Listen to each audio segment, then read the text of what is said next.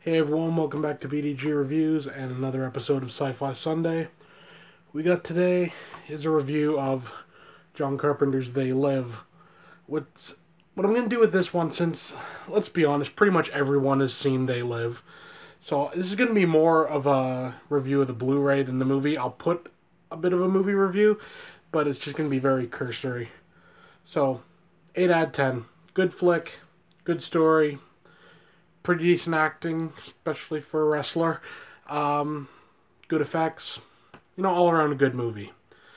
The Blu-ray itself here. This is uh, from Scream Factory. Uh, I was really pleased with it. Uh, it's not one of their better releases. Like, it's not completely loaded down with features.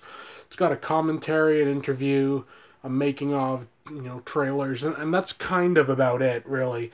Um, the picture quality is really solid. The audio's good. Um, it's it's a really solid release, but it's it's like I said, it's not uh, over the top with features or anything.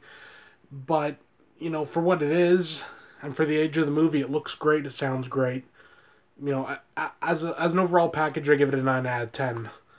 You know, um, I I really dug the Blu-ray release of this, and you can actually pick pick it up pretty cheap nowadays. You know, um,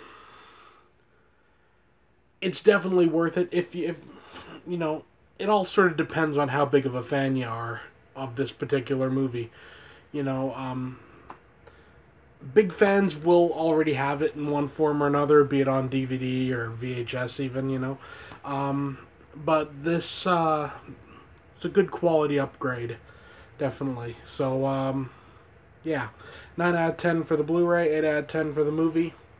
You know, give it a shot if you've never seen it, it's worth it.